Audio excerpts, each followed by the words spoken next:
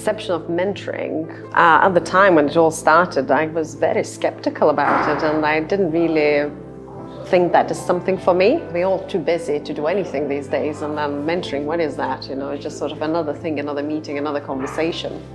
Um, so I sort of approached this quite excited. Um, I have only ever had good things uh, about mentoring. It's helped me. So you were more optimistic and I was a bit more pessimistic. and it was, oh, absolutely every day. And I think that's what really, really got me in, yeah. in the end. And I was thinking, oh my goodness, why I haven't done this before? This is such a great thing.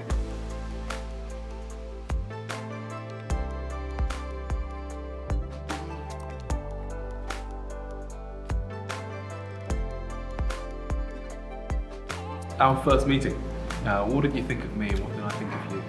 Yes, and, and to me, I, I didn't expect it to be so friendly yeah. and so open-minded. I didn't realize that we will be able to explore so many different options. And that conversation could have easily lasted for another three hours. That's how it felt.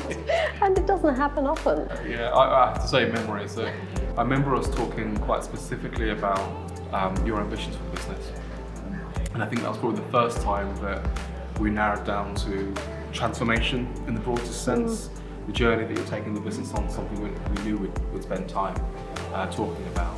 But we covered a lot of ground. We did. it takes some time to narrow down the objectives, I think. Yes, it did. And that also was good because then once you start talking about broader concept and yeah. what needs to be done personally, as a professional and so forth. And I think to me it was the opportunity to speak someone openly yeah. and who was yeah. Active listener because yeah. I think in business it doesn't happen very often and I think that's what that bit of that mentorship is so important to be able to talk through your ideas and concepts freely with absolute trust. The most memorable conversation, what's the one that sticks out?